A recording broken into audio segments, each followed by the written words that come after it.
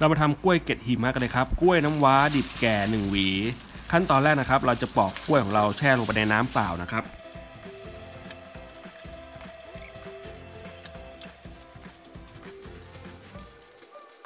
เมื่อเราปอกกล้วยเสร็จนะครับ ขั้นตอนนี้นะครับให้เราบีบมะนาวลงไป 1 ลูกนะครับ มะนาวก็จะไปช่วยทำให้กล้วยของเรานะครับ ไม่ดำนะครับ แล้วก็ไปล้างยางที่ติดกับตัวกล้วยออกนั่นเองนะครับเพื่อนๆ แล้วเราก็ล้างน้ำมะนาวไปที่ตัวกล้วยนะครับ ล้างจนยางเขาออกหมดนะครับ แล้วก็ตักเขาไปเสด็จน้ำนะครับ แล้วก็ไปทำขั้นตอนการหั่นกล้วยกันเลยครับ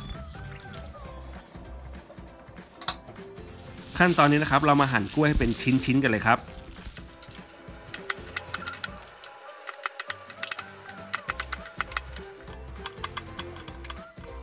เมื่อเราหั่นกล้วยเสร็จนะครับ ไปทำขั้นตอนการทอดกล้วยกันเลยครับ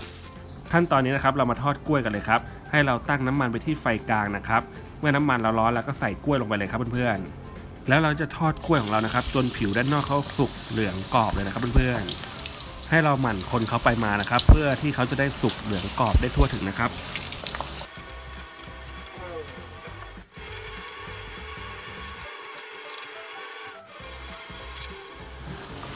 เราก็ทอดกล้วยของเรานะครับ จนผิวด้านนอกเขาสุกเหลืองกรอบนะครับเพื่อนๆขั้นตอนนี้นะครับ ให้เราตัดเขาไปเสด็จน้ำมันได้เลยครับ แล้วไปทำขั้นตอนต่อไปเลยครับ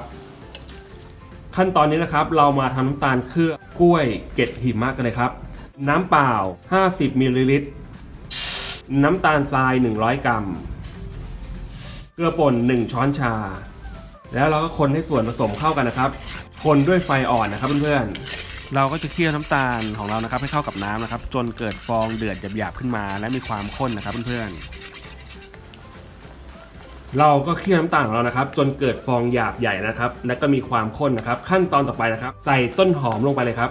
ต้นหอมซอย 2 ต้น แล้วก็ปิดแก๊สเลยครับ ขั้นตอนนี้ปิดแก๊สเลยนะครับเพื่อนๆ แล้วก็ตามด้วยกล้วยใส่ลงไปคลุกเคล้าเลยครับ ขั้นตอนนี้เราปิดแก๊สแล้วนะครับ แล้วเราก็คนคลุกเคล้านะครับ ให้น้ำตาลเคลือบไปที่ตัวกล้วยของเรานะครับคนไปเรื่อยๆเลยครับเพื่อนๆจนน้ำตาลเกิดความเย็นตัวนะครับ แล้วกลายเป็นเกล็ดเกาะไปที่ตัวกล้วยของเรานะครับ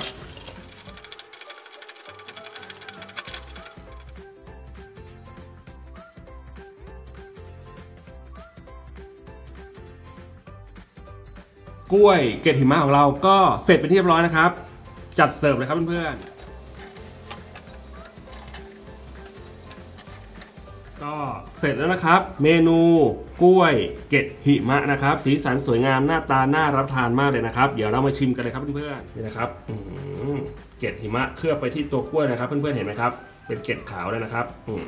เดี๋ยวเราชิมเลยครับกล้วยเกล็ดหิมะของเรานะครับ